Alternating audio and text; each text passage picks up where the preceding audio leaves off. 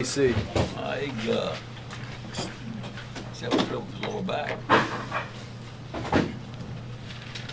Is that a, is that an issue, or do you think he'll be okay by Wednesday? I mean, it's not like a long-term thing. I don't know, we'll see how he is with, uh, Tuesday with, uh, I'm, I'm sure our trainers will check him out and everything. I mean, we, we, they'll check him out, and tell me how he is. Is this something that, that has been going on or just happened today? Uh, As far as I know, it just happened today. Okay. And uh, Chooch just taken out because for precautionary reasons. Yeah, he got a, he had a big, uh, he had a, this, he got hit on the elbow, and he had, a, he had, a, he started swelling. I figured we better just get him in to get some eyes on it as soon as possible. He, You know, he, we'll see he is, huh?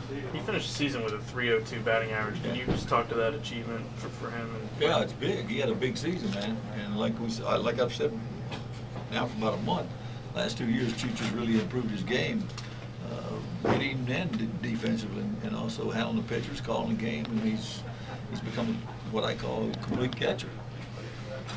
He's good, real good. Happy for him. Proud of him.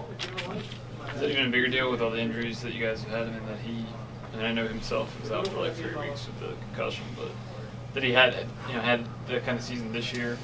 Yeah, it was, yeah, it was big for him to have a kind of season because we've, we've, we've had our troubles offensively. And, you know, yeah, he's definitely, he's got some huge hits for us off of some big, big pitchers. What'd you see of Jimmy's last four games? Uh, He got, games, he got some at bats. I mean, you know, he got his at bats in. He hit some balls. He put the hit, hit usually hit one or two balls good, pretty good at night. And, uh, you know, he got, he got to play in the field, and, you know, get his timing down and everything. You know, like he, uh, he wasn't, he wasn't running as, as good as he can, but you know he's moving pretty good. But